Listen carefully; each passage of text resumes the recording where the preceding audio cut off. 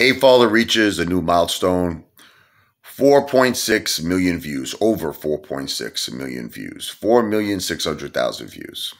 Um, it's a long way from my goal of 100 million views, but I take it day by day. I keep working as hard as I can. I got to be there for two families. I got to be there for my family, and I got to be there for my AMC and my GameStop family. I try my best. Yesterday was a, a day I had to really be there for my mom. We moved her back into our home you know, we have to look after her with her health. She had some really scary health situations that scared me, man.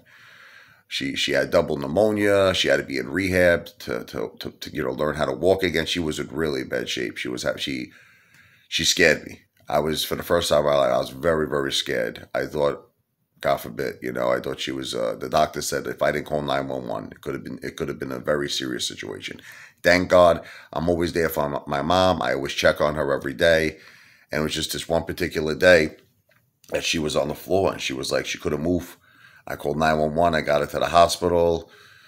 They they treated her. They gave her everything she needed, all her antibiotics. They put her in rehab, and now she's doing great. She's doing much better. Thank God.